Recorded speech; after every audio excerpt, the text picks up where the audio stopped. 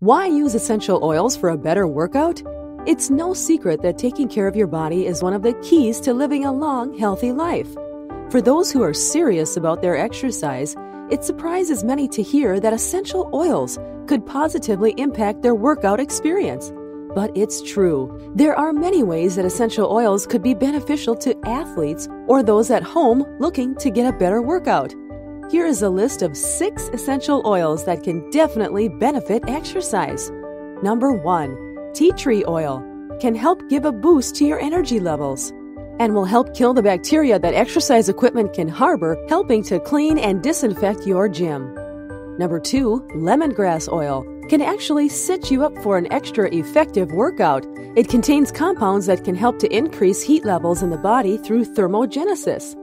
Number three, the aroma of peppermint oil can help to enliven the mind and promote better breathing. You can rub a bit on the chest diluted into massage oil just before exercising to get a little boost. Number four, marjoram or lavender oils can be used during yoga to promote balance and focus. With their calming and relaxing properties, they can do wonders for your mind and body. And lastly, number five, eucalyptus and rosemary are great oils for helping to calm sore, tired muscles. Mix 5 to 10 drops with 1 tablespoon of a carrier oil, like coconut or almond oil, and massage into the sore muscles. In short, essential oils are a great way to give your workout a little boost. If you're looking for a new way to relax after a workout or to get a bit more from your exercise regime, they are worth considering.